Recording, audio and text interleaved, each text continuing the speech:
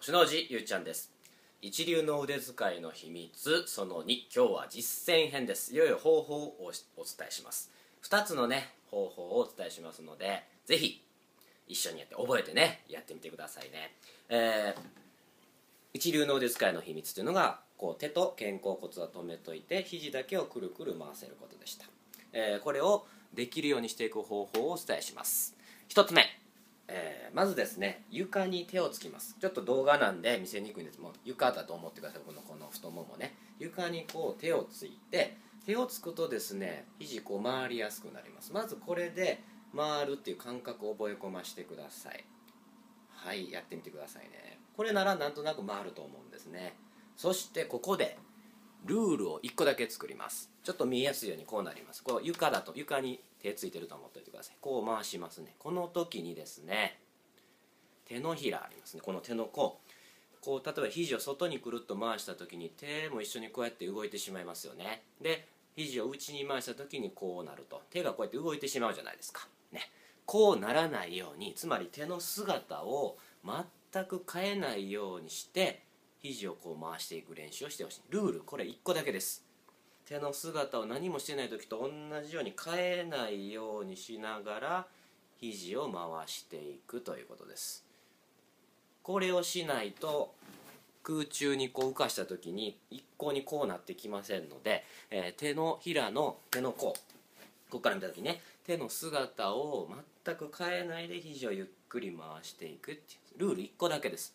そういう風にして回す練習をコツコツコツコツやってみてください。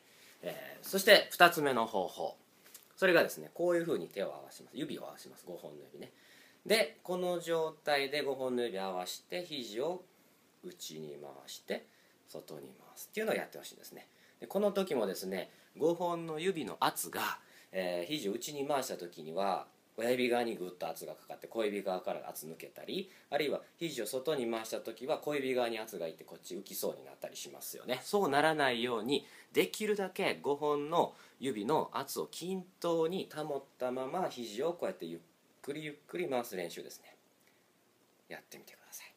そして両手でやるとなんかこの辺が詰まってしんどいという人もいますんでそういう場合は片方ずつでいいのでこういうふうに練習します。5本のこの指の圧を変えないでまず片方から練習ね。内外ゆっくりくるくるくるくる回していく。これを肘だけくるくる体操っていうんですけどね。こういう練習をしていきます。で慣れたら両手でやっていく。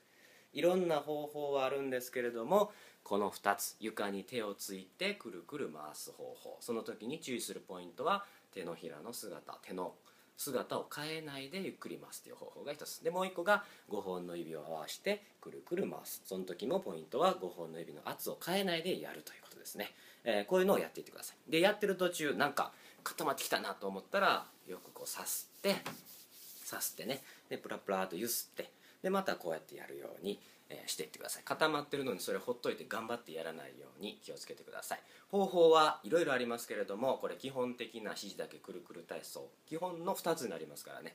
これをぜひやってみるだけでまあ早い人で1週間、うん、ちょっと長くかかる人でもやってみたら1ヶ月2ヶ月3ヶ月1ヶ月経ってできるようになったという人もいればね、えー、もう早い人だと1週間以内にできる人もできるこう空中に浮かしてこれできるようになる人もいますんで、えー、ぜひやってみてください。でこれできるようになったら何がいいねんっていうと腕使いが劇的に変わります。同じようにお皿洗いとか、えー、ピアノ弾いてたりとかギター弾いてたりとかバイオリン弾いてたりとかスポーツでピッチングしてたりとかテニスでこうラケット振ってたりしても全然あれ疲れへん。